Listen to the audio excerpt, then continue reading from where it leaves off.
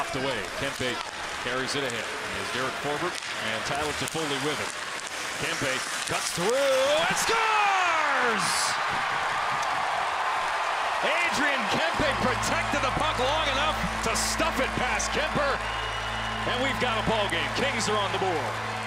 Kempe is going against Chychrun, who's a real good skater. Back in the King zone. There's the King Centerman's responsibility, right? Be that first outlet. Speed beats him to the outside. Once, watch, right there. He gets the left leg. Chychrun thinks he can get the stick. He's going to swing it right, coming up. There. Whoa, just at the time the stick's coming around.